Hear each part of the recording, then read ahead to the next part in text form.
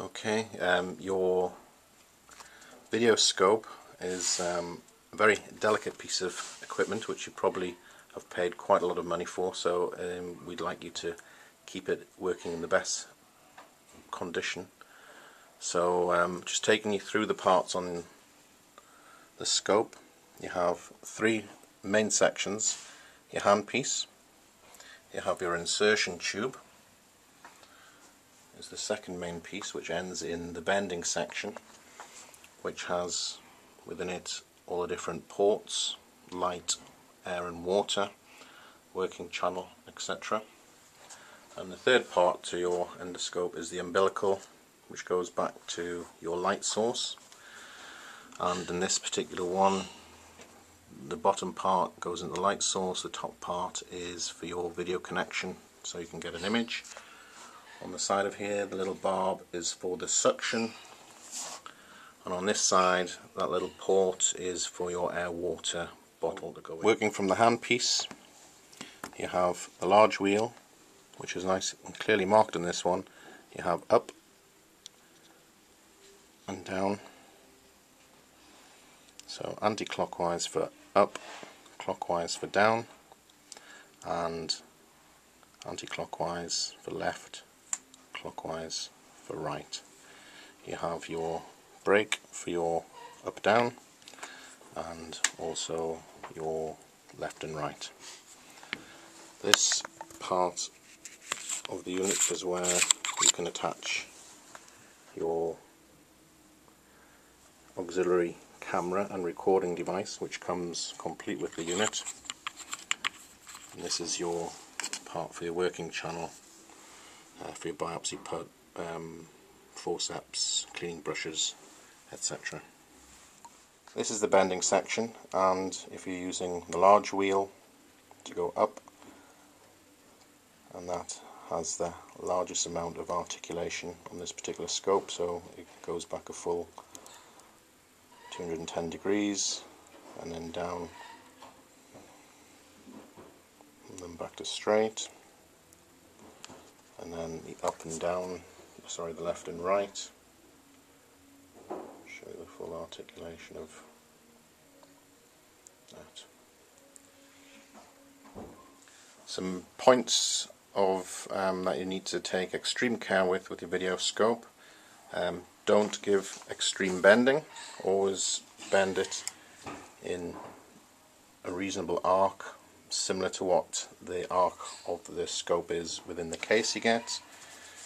Never flex it or twist it and ensure that if the patient is if you ever have to have the patient under very light anesthesia for whatever reason you may need to clinically always remember to use the bite guard between the, the teeth just stop any damage we see quite a bit of damage come back from scopes uh, for this reason. The bending section this should never be, you know, should never try to bend this with your fingertips or hands. Always use the wheels um, on the endoscope as this could damage the pulley system within. Remember when you're taking out the scope that you always need to put this back to straight before removing from your patient. The simplest way to do that is imagine these wheels at from this angle at 10 to 2. If they're both at the 10 to 2 then your bending tube is straight and you should then be able to withdraw the endoscope insertion tube. Although this um, endoscope is fully immersible and it does come with your leak detector um, to make sure that is still leak proof, we'd recommend really for ease of use and simpleness is to really never immerse the handpiece itself and to always just wash this down with um, lightly dampened gauze swab with alcohol solution. Um, another point on endoscopes, we see an awful lot of these back because they're not cleaned properly. So as soon as you use this endoscope at least once, it goes into a body cavity, you will get um, biofilm, etc. will be within your um, working channel. It can go into your air and water, as soon as these are blocked, it's a very costly and expensive repair if the repair can be done at all. Uh, another point where we see um, a few people get into trouble with their endoscopes is when you're using the biopsy forceps and you have picked up your your um, biopsy some people try to remove these by pulling the biopsy forceps straight back down the working channel it's always recommended that you pull both keep the biopsy forceps within the um, the tube and actually pull them both out together and this will um, ensure that you don't damage your endoscope. Before using your endoscope always check through all of the instructions and please take particular attention to the care guidelines on handling. Um, this will ensure that your endoscope um, remains healthy and have a long life with you and work to its optimum. We always recommend that endoscopes really shouldn't be kept in their case. If you're going to keep it in the case then you need to follow a few rules. You need to give it at least an hour or so to become get up to room temperature and allow it to naturally unbend. The other thing that you need to do is, um, as I say, it's probably best to store it upright and you can do that on the cart system um, quite easily with the uh, Magtech video scope. Okay, so keep the endoscope out. Also, it helps during um, if you if you need to use it in a procedure. It's ready to go and it can be billed straight away, which helps cover the cost to pay. Put in your uh, video endoscope into your light source and combined video processor. Just put it in like this. To attach the water bottle, it just goes into the port within the video endoscope on this side. And for your suction.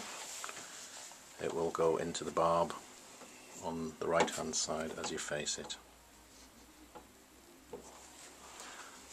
And that goes down to your aspirator which is stored on the trolley. Turning it on, very simple, power on, standby makes the light go on, you have your pump on and off and the brightness see here. We have the light on. This new processor comes with an LED uh, light source which means um, it should last you a very long time and no um, costly bulb changes. And as you can see there is now an image on the screen